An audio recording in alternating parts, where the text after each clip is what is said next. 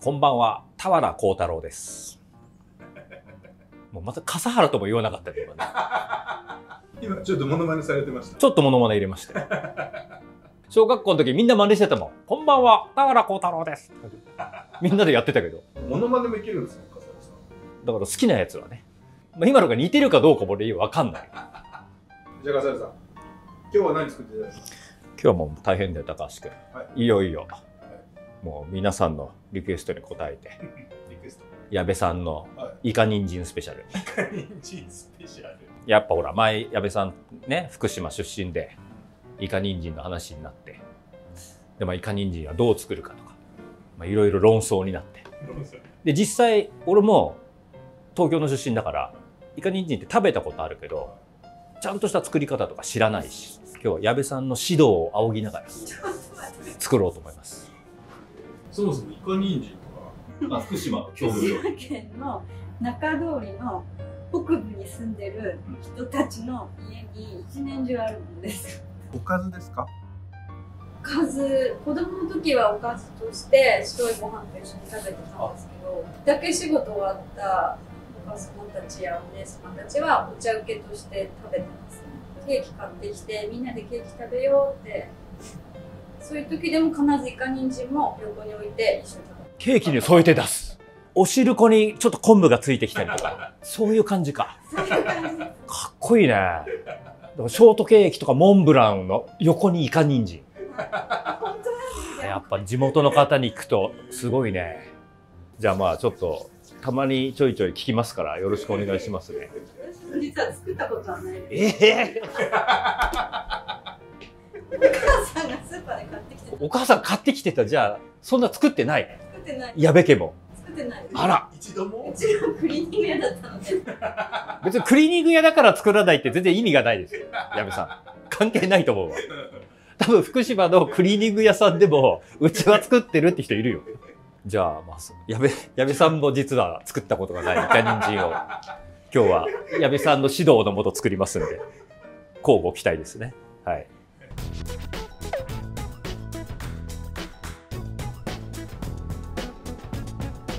じゃあまずね、あの、漬け汁を作るんだよね、イカ人参っていうのは。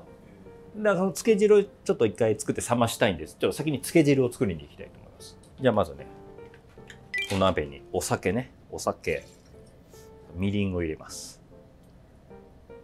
で、ここでね、一回火にかけて沸かしてアルコール分をまず飛ばしたいと思いますんでね。お酒とみりんだけをまず火にかけます。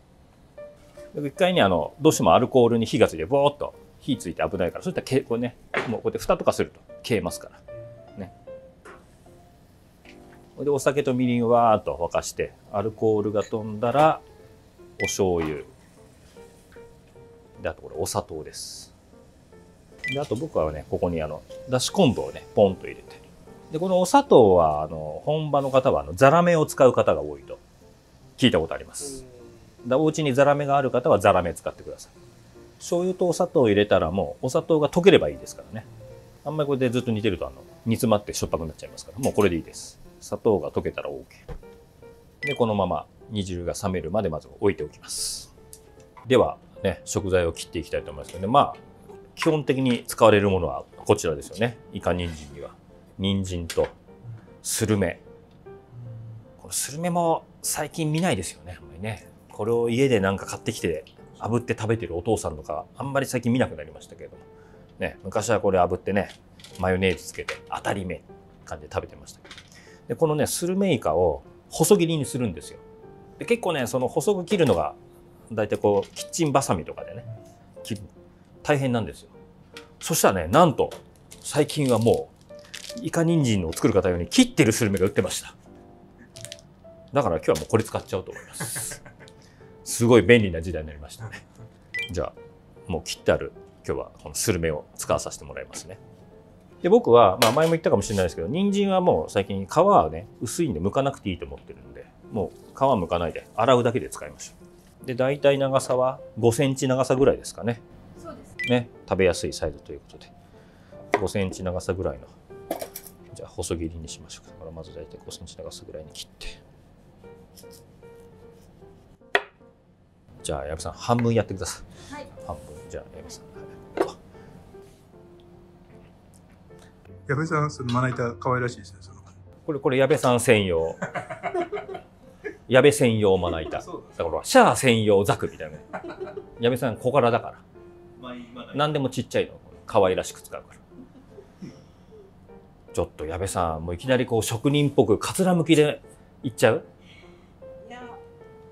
じゃあ俺は多分全国のご家庭の方はかつらむきできないと思うから、普通に縦に切って、で、それを細切りにするタイプにししますよ。はい腕に自信のある方は矢部さんみたいにかつらむきでね。千切りが大変な方はあの千切りのスライサーとか使ってもいいのかはい。考えたらね。じゃあ私は薄切りにしたのを並べまして、でこれをこうやって切っていきます。まあ大体あれだよね、マッチ棒ぐらいでめちゃくちゃ細くなくてもいいんだよね。そうなんです。太くて大丈これぐらいだよね。やっぱね夫。はい。ここ大体これぐらいだ。最近マッチ棒もわからない人もいるらしいです。そうそうそうそう。マッチ棒ぐらいっつっても家にマッチがなかったですって本当に言われたよ。本当に調理師学校の授業で言われたの。へ調理師学校の授業で、なんかきんぴらかなんか作ってたんだけど、じゃあ大体ごぼうと人参をマッチ棒ぐらいの細切りにしてね、っつったら。家にマッチがなかったです。チャッカマンでもいいでしょうかって言われたからもうね、き気絶しそうになっちゃった。マッチって言っても近藤正彦さんじゃねえぞって言っても一切受けなかったもんね。生きづらい世の中だ、本当に。令和という時代が恐ろしいよ、本当に。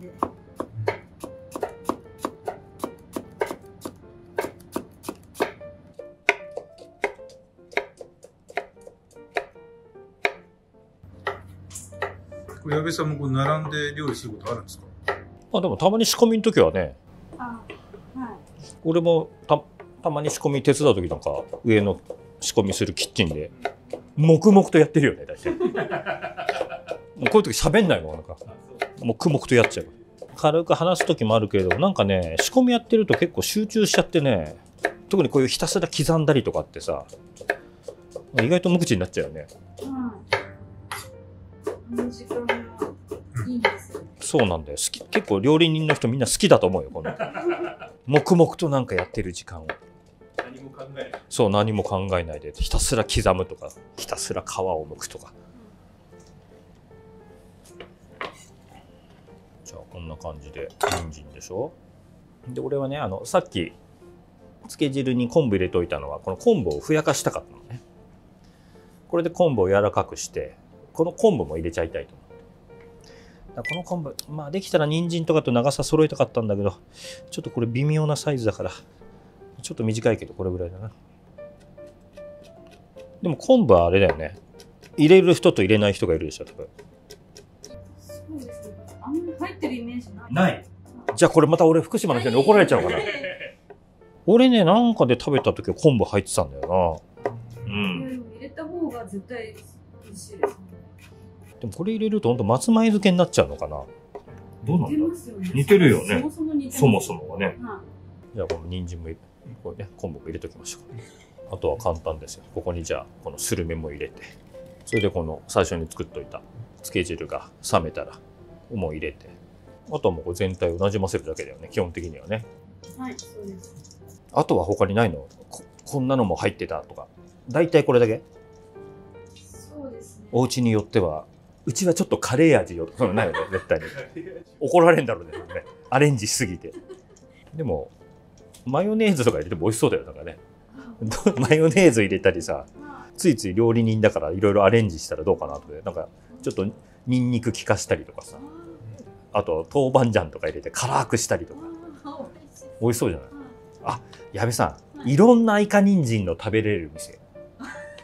やったらアレンジイカ人参カフェ。だってだってお茶受けで食べるんでしょ？いそうなんです。福島の女性たちお茶受けに住んだったらそうだよイカ人参カフェ。試作何百回もしないと。そうね。矢部さん真面目だからね。お俺みたいに勢いですぐやっちゃうタイプじゃないからね。はいじゃあまあこんな感じでね全体をなじませたらでも矢部さんこっからなんですよね。イカ人参ってやっぱ1日2日置かないとダメですよねそうなんです。すぐに食べられない。すぐに食べられこのどんどんどんどんこれでスルメもこうふやけてで全体的がこう味が馴染んでっていうぐらい大体2日ぐらいですか？そうですね。なので高橋君2日待っといて。あじゃあ2日後2日後に来て。うん。2日後に待ってるよ。はい2日経ちました。お疲れ様ですこれちゃんとねこういう容器に移して2日間寝かしときましたよ。あーほらあいいですねこうちょっと粘りが出て。でれん。美味しそうですよほら。すごい粘りが出ね。はあーなんかイカもすごいスリムがふっくら戻ってるよねこれね。こういうトロトロの食べ物なんですね。どう？合ってる？ちょっと違う。いええ。こんなぬめってない？本本来は。ぬめってるのもありますしぬめってないのもまああります、でも結局昆布入れるとちょっとぬめりは出るねこれね。じゃあ昆布入れなかったらここまでぬめんないけど、はい。でもまあこうちょっとイカもふっくら戻ってはい。人参もしんなりして。は間違ってはない。い間違ってないです。じゃあちょっとイカ人参っぽい器に イカ人参っぽい器が何だか分かんないけどこれ。結構日持ちがするものなんですか？これ多分10日ぐらい大丈夫じゃない？多めに作っといたら。お水が入ってないので。そうそう水使ってないからね。水とかだし使うと本当傷みやすいのよ。ものってね。だからこれはお正月とかにもいいよねこれね。作っといたら。はいじゃあ矢部さん。はい。矢部さんから出してます。私お願いします。じゃあ福島のイカ人参の完成です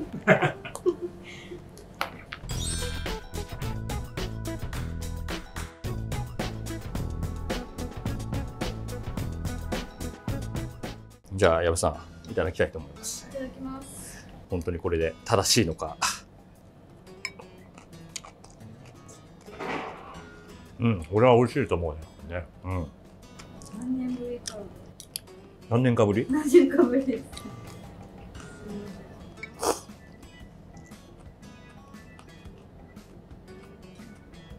これですこれで正解。はいこれですほんのりお酒の香りがする、でもいいねこの人参が。コリコリしててイカもふっくら戻ってて。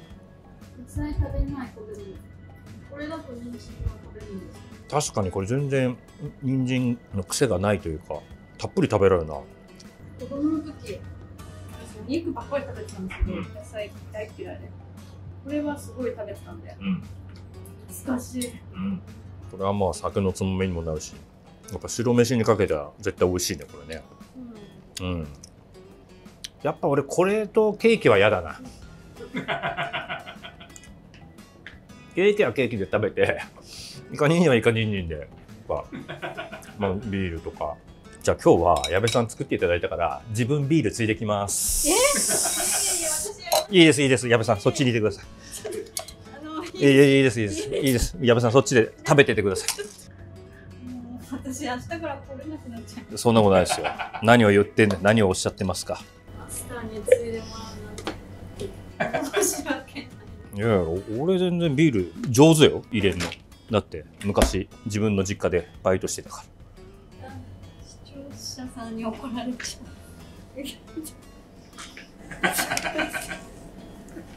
いつもの逆で。ういや。じゃあお疲れ様でした。お疲れ様でした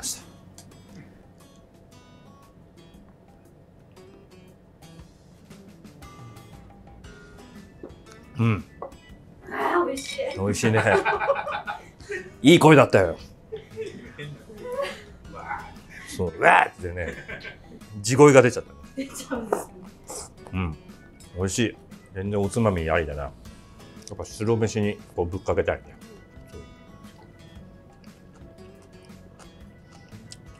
やっぱ俺はうまい。うん。ありますね。うん。白いご飯もママドール食べた後にイカ人参っていう流れだったんですママドールって福島のお菓子でしょ。ローカルトークだ。ようちの息子にも作ってあげようかな。うん。いやイカ人参美味しい。俺もこれから作ろう。これ冷蔵庫にあったらねつまみにもご飯のおかずにも。いやー矢部さん来ますね。イカ人参ブームが。どうする？もう明日なくなるよスーパーから人参とスルメ。福島も他にこれぞっていう食べ物はないんですか？あ矢部さんあれ言ってたじゃん。小つゆ会津地方になるんですけど、うん。私は中通りなんですけど会津地方に小津湯っていう美味しい料理があります。じゃあ第2弾ね。小つゆ皆さん小つゆスペシャル次回行きますからね。お待ちね。あ矢部さんのもう小つゆスペシャルスペシャル第2弾交互期待。絶賛準備中で行きますんで。もう矢部さん矢部さん倒れちゃったよもう。倒れるほど。倒れるほどの。倒れる？そんな倒れるほどのリアクション小つゆが。いやでも俺も小つゆもちゃんと作ったことだからやりますよちょっと一緒に作ればいいじゃん。うんお願いします。小つゆスペシャル